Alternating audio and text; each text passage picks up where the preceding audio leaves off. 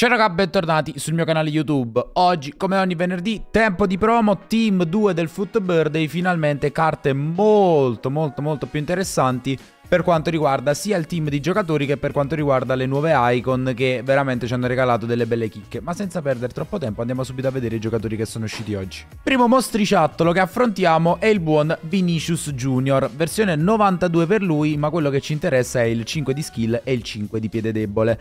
Rispetto alla versione 91 prende semplicemente un più uno in tiro, due in passaggio, uno in difesa e uno in fisico. Purtroppo non può prendere il lengthy, chiaramente, ma eh, prende explosive con praticamente tutti quanti gli stili d'intesa.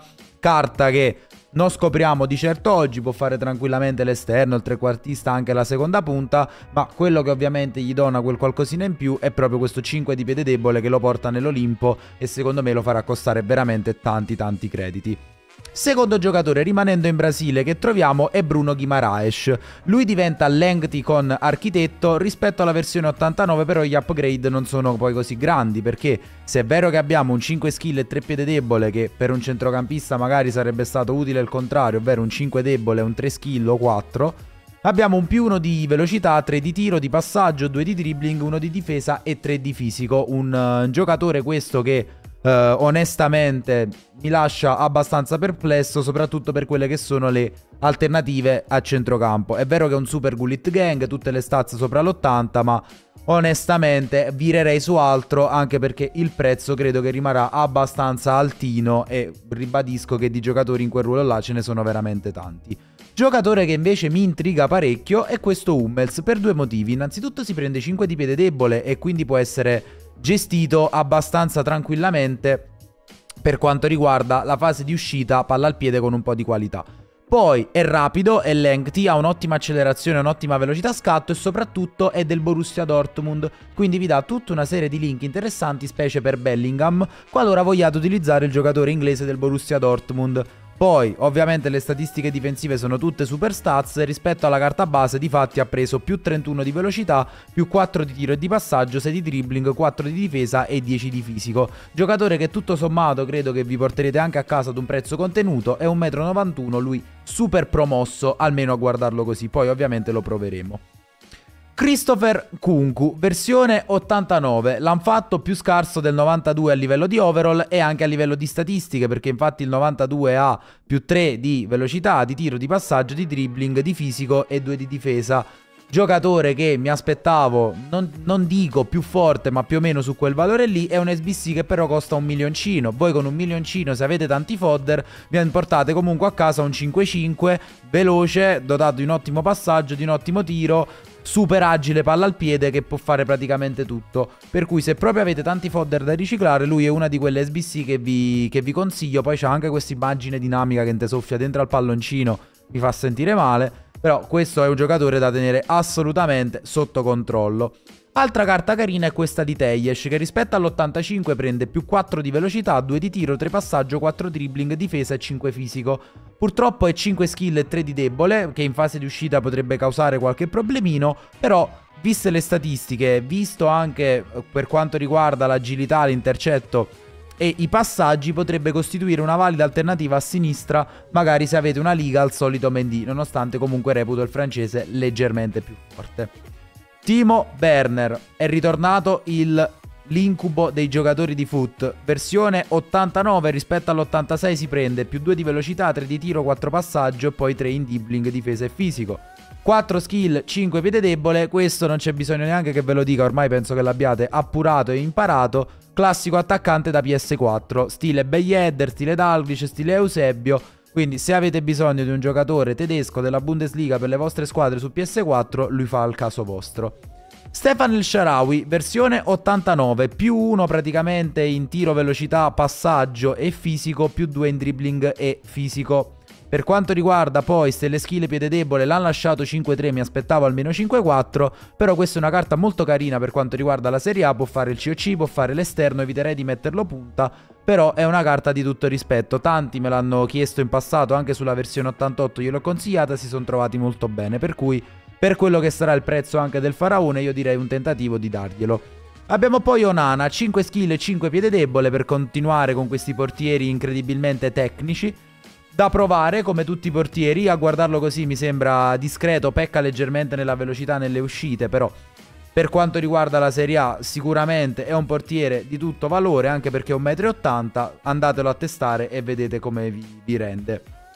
Cartone questo qui di Anthony, 5-5 rispetto alla carta 86, più 1 di velocità, 2 di tiro, 3 passaggi, 1 dribbling, 2 difesa, 2 fisico.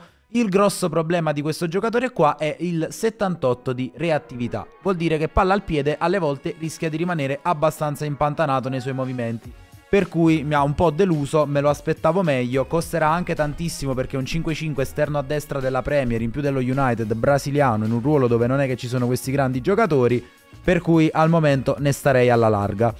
Il buon Piero in Capie è un obiettivo per cui come al solito lo sbloccherei e me lo terrei in squadra.